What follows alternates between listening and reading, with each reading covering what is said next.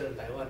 Es muy interesante, auto con alta tecnología, es un auto, digamos, inteligente, con seguridad, con alta tecnología.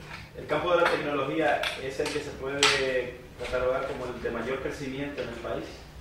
Bueno, claro, porque Taiwán hoy eh, es muy famoso por su alta tecnología, por ejemplo, computadoras, laptops, telecomunicaciones, estos son, son de alta tecnología y ayuda mucho al desarrollo del país.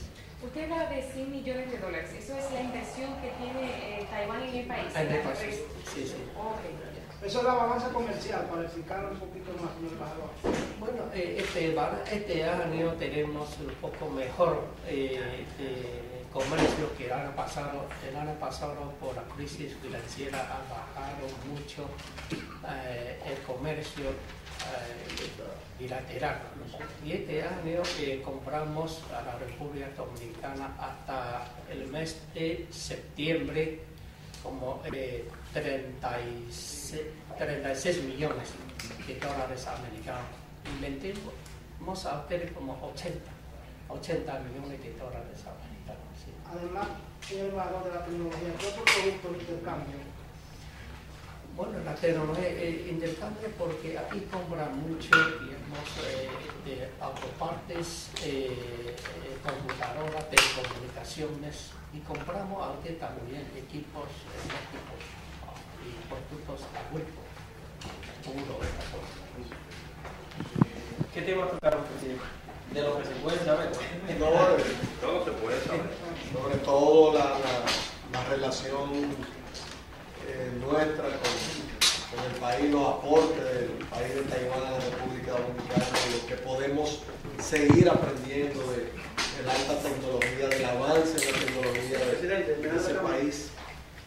Y sobre todo también lo que tiene que ver con el Congreso, eh, futuras visitas para intercambiar, conocer eh, cómo es el desarrollo del Parlamento taiwanés y también lo positivo de allá.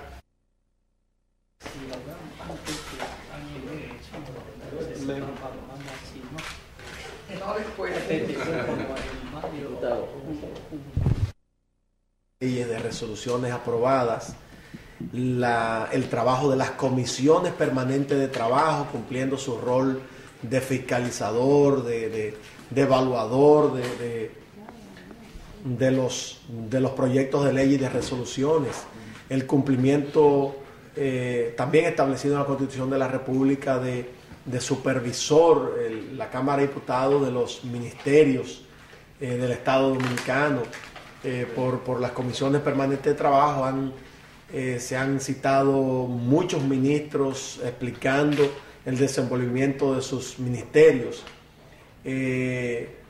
La, la gran el, gran consenso que se, ha, que se ha llegado a la Cámara de Diputados, donde las fuerzas políticas que intervienen eh, en, ella, que son parte de los debates, que son parte, eh, también son parte de los acuerdos y de los consensos, proyectos eh, que ameritan consenso para favorecer al país. En la Cámara de Diputados hemos sido capaces de ponernos de acuerdo. Ahí está eh, el compromiso constitucional que teníamos de, la selección de la Cámara de Cuentas, que se seleccionó sin traumas, eh, donde todos los partidos políticos votaron a unanimidad por, los acuerdos eh, y además el proceso diáfano, transparente que se llevó a cabo con las evaluaciones de quienes aspiraran un proceso abierto, un proceso público.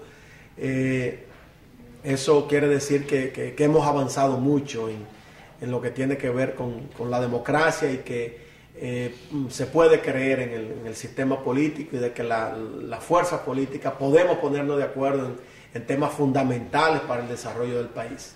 A propósito de Cámara de Cuentas, ¿hay diferencia entre aquí y el Senado en ese tema?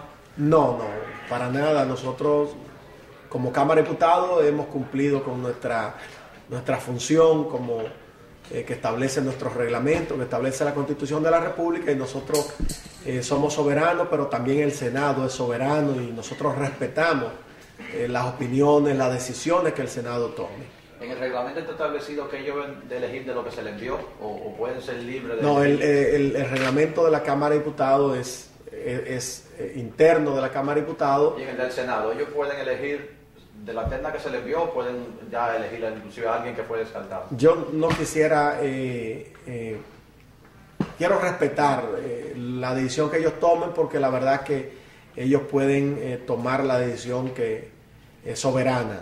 Igual como lo tomó la Cámara de Diputados, eh, nosotros queremos, en el caso nuestro, sí resaltar la gran armonía que existió, el proceso transparente de selección, de donde se escogieron a 15 eh, aspirantes a, a dirigir la Cámara de Cuentas y a ser miembro de ella, que, que reúnen las condiciones establecidas por la ley, la Constitución y sobre todo eh, que se hicieron todas las investigaciones pertinentes de que reunieran las condiciones de solvencia moral y profesional.